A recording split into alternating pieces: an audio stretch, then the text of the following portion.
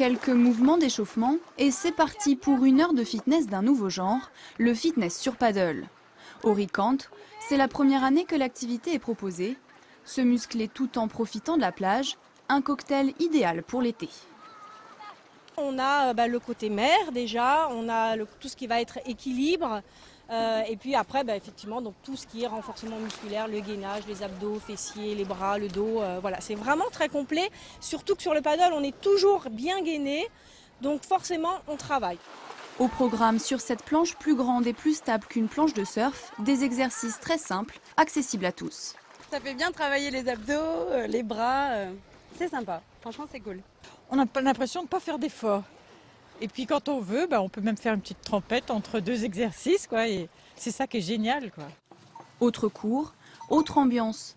À Capodifen, cette ex-championne de surf propose, elle, depuis 4 ans, des cours de renforcement musculaire sur paddle, alliant des techniques de fitness, mais aussi de yoga et de pilates. Si je peux, je tends la jambe. L'objectif Assouplir et renforcer le corps en profondeur. L'idée de base, c'était de développer le, le surf féminin. Mais en fait, c'est vrai que commencer à surfer, euh, des fois, quand on n'a pas fait de sport depuis des années, etc., ça demande quand même un énorme, euh, enfin beaucoup d'efforts physiques. Et euh, le paddle est, est un outil parfait pour le renforcement musculaire. Quoi. Comptez une vingtaine d'euros pour une heure de cours en moyenne, le prix à payer pour prendre soin de son corps tout en douceur.